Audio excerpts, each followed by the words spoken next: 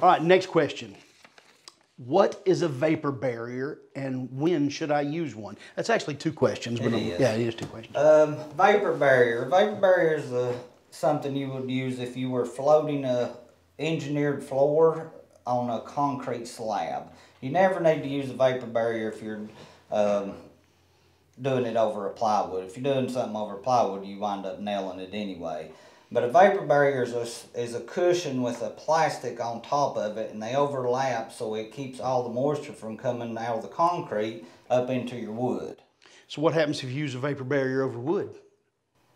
You don't really need to, because in my in my years of experience, if I'm going over a wood subfloor, I'd rather nail it anyway. Right. It's much cheaper one way to install Yeah. it that way. Plus, I think it's just a more sturdy floor. Now, you would use a vapor barrier in like a 15 pound felt, but it's really not a vapor barrier. No. It's called that, but it's really there to, to grease the nails so they don't squeak later. People people think that felt paper is a moisture barrier because they see people put it on their roofs before they put their shingles. Mm-hmm. But that has nothing to do. You put a piece of felt in water, and it's going to soak. The water's going to go all the way through it in time. Yeah. Um, plus, when you nail through the felt paper, you're putting a million nail holes in it, which um, doesn't do anything. Unless it was self sealing. Right. Right.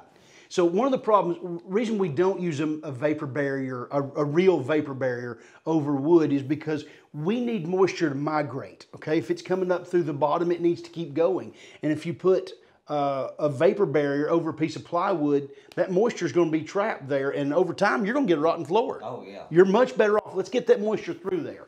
So whether if we're putting down a floor that if we're floating an, an engineered floor, we would use a a pad that does not have a vapor barrier, or we wouldn't tape the joints. That's what you do in some of the cases. Now, if you are going over concrete floor, you would always tape that joint. Some of them are self Right, and you of pull them overlap and Right. Right. So that's that's our story on that.